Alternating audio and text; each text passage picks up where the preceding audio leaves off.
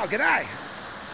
Yeah, look, just a quick note. This is the reason why you don't make a fire on the rocks because they can turn into really sharp fragments just like glass or like needles and they can cut people's feet right open. But here we are in a beautiful uh, landscape here, a subtropical uh, landscape. Absolutely wonderful, pristine, fantastic rainforest. Uh, most of this area of southeast Queensland would, would have been this kind of uh, landscape. Anyway, down here we've got evidence of a fire, right? Close to the water. Seems like a beautiful place to make a fire. Probably very romantic as well. Yeah, we've got the evidence of the fire been here within the last few months. But this is a reason here why you do not make a fire on the rocks. Because what you get here is these sharp bits. See, it's all very, very sharp.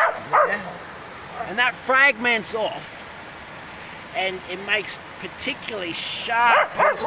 See how this whole piece is loose? I can pull that off there, right? Excuse me, Elvis. I'm trying to just uh, give a little bit of an educational video here. Can you just please be quiet for one second? Yes, sorry, man. Excuse me, Elvis. Elvis. Elvis. Be quiet. Quiet. Excuse me one second. Uh, sorry about that. Now that I've got control of Elvis, he's going to assist me in this video. And so you can see here that we've got some sharp fragments, right? And some sharp fragments over here. You stay quiet, okay? Just stay quiet for a minute. So you can see all these bits and pieces, they break off and they make something that is very sharp. Elvis, Elvis, come here. Sit down. Stay there and be quiet. I do beg your pardon about that. Okay, so what we got here is very sharp fragments. Very good for uh, tool use. Elvis, come here. Here. Sit there. Stay. And be quiet.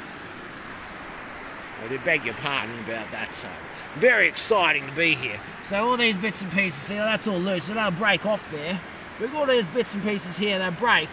If something like that is sticking out in a manner like that, and someone steps on it, it'll go straight through their foot, and it can also break off into all different fragments. See how it just breaks off like that? Very dangerous. Obviously people are going to be here barefoot, so I get rid of that, let's throw it right into where it's rushing, and the, uh, the movement of the water and the smashing up against the rocks is going to smooth that off. I don't really want to be doing stuff like that, but it's safer for it to be in there, moving through there, and being made blunt naturally, rather than sitting here where someone might step on it. See that particular one there, very dangerous.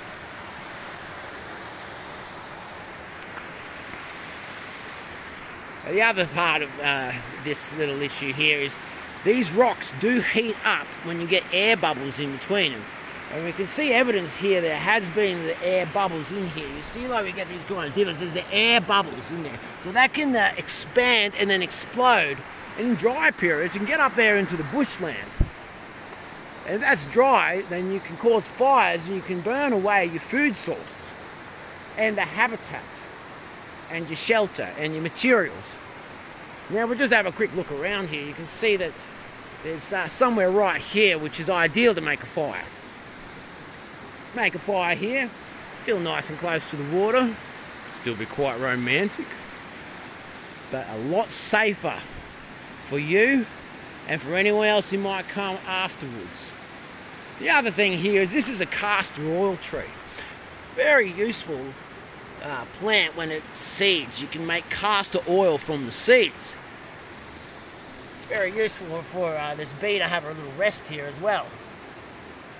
But this does not belong here, so I'm going to have to dig this out. Don't have any tools, I'm going to have to use the sole of my shoe, my heel to be exact.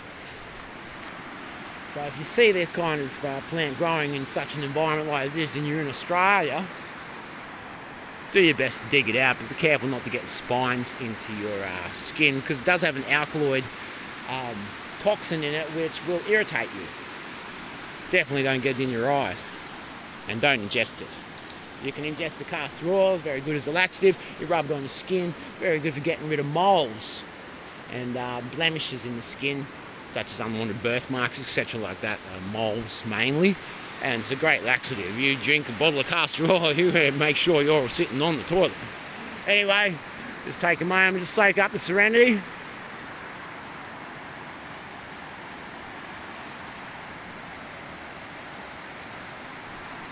Absolutely beautiful, isn't it? Right, cheerio.